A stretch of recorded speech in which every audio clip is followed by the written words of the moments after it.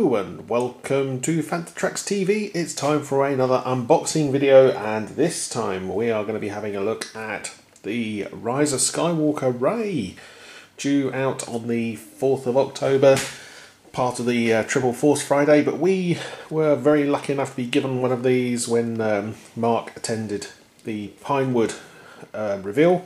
So uh, I've stolen it from him so that we can open it. I promise I will replace it when they come out Mark but anyway, let's have a look. Oh, and don't forget to subscribe to the channel if you haven't already. Uh, we have new content every Wednesday and every Saturday, and if something exciting happens in between, well, we then report on that as well. And in fact, next week's a good week because Mark and I are in New York Comic Con, uh, where there should be lots of good things going on, including some Hasbro goodness there. So, uh, don't forget to subscribe. Right, let's have a quick look at the box. So we start off with Star Wars The Black Series and there's Rey with D-O. and it's got Rey's gun there. You got the lightsaber which is blue looking at that. And you've got her staff. Um, that's the warning certificate that I managed to shake in so because it was actually in front of her when we got this. There's the artwork of Rey, looking oh so more statesman's like than she was in The Force Awakens. And it says Rey and D-O got all the warnings so look at the bottom and there's the barcode that people so love. There we go. And then look on the side, we're at number 91. Getting there. And Rey and D-O. Say nothing on the top. Rey and D-O on the side in red and in the grey. And then I go to the back. And it says Star Wars Black Series number 91. Rey. Rey continues to study the Jedi ways, but she grows concerned about what the future and the Force may hold in store for her. Ooh. Can't wait to see that bit in the film. Um, not bit. See how she develops in the film. Get it right, mate. Right, D-O. Cobbled from odds and ends in the workshop of a droid smith, little D-O is an impressionable little roller that becomes fixated upon BB-8. So there we go. D-O's obsessed with BB-8. Hmm. And there's the artwork of Rey. Shame we've not got some artwork on D-O, unless I'm missing it. There we go. Right, I'm going to open this up and we can have a look at the figure proper. Right, so there we go. There's the figure in its plastic. Let's take the bits out. First off, we'll take Rey's staff, which I've broken already. Well done me. That was impressive. I think it actually does come apart, he says. Ooh, yeah, it does look. Doesn't look particularly robust though, but there we go. That's Rey's staff. And there's the saber. And as you can see, it's got the reinforced bit in the middle where it snapped apart in The Last Jedi. It does look a little bit darker, but that is definitely blue.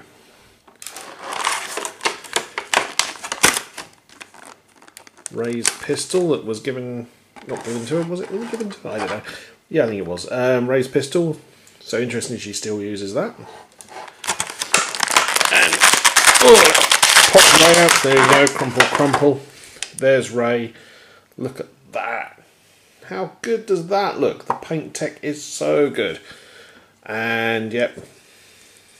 Oh, she's got a little pack on there. We'll look at the figure in a second. D-O. Been looking forward to this. There it's D-O. And, oh look, the wheel goes round, or D-O's wheel goes round. Head doesn't swivel. So I'm already into articulation. So basically it's a bit of a static figure, but kind of awesome. Oh, and the antenna definitely moves there. Oh, very cute. But yeah, Nice, nice that it comes packaged. Yeah, lovely. Right, uh, let's have a quick look at articulation on Rey. So, head moves. And as we've got used to, doesn't have the plastic bit that you can see there, so it looks like a ball joint. Awesome. Uh, shoulders. Uh, arms, yep. Elbow, should I say. Yep, that moves there. Hands, that's cool. Same on the other side. Pivot on the waist a little bit. That's a bit I think it's the rucksack. No, no, it does. She just doesn't move. Oh, there she goes. I've clicked. So the waist does move. Thighs, knees, feet, all you'd expect. And the holster there for the gun. So all in all, really good. Like I say, the face tech there is quite phenomenal. So I'm going to put Rey into the poses. Now this is the only figure, like I say, we managed to get this uh, because Mark attended the Pinewood event, so uh, this was in the goodie bag afterwards. So thank you very much for giving us this. We need, to, I think we need to say that it's free. Uh, although I will be buying Mark a new one on Force Friday from New York. And I think this is the same figure that comes in the first day packaging. And actually, I read about the white first day yeah, white first day packaging. And um, apparently that's only going to be available in bricks and mortar in America. I think over here it's a bit different because we don't have too many shops. I'm hoping some of the online retailers like In Demand, Star Action Figures, and Kapow will stock them. But in the US, I think Entertainment Earth said it's only going to be the white packaging in bricks and mortar places. So uh, Mark and I are in New York Comic Con, so yeah, subscribe to see that. But we'll be uh, trying to get them there as well. But anyway, long story short, I've got to replace this for Mark. I bet he's going to go for a white box if I can get one. Um, meanwhile, let's get Rey into the poses and you can look in more detail.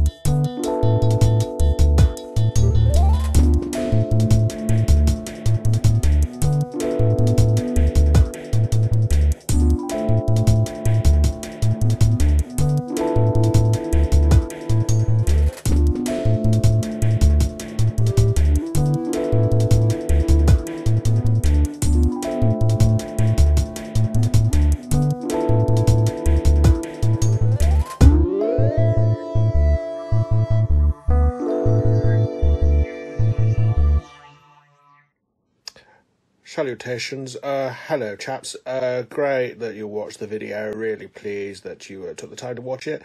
Now, if you liked it, don't forget to like and subscribe to the channel and uh, tell all your friends.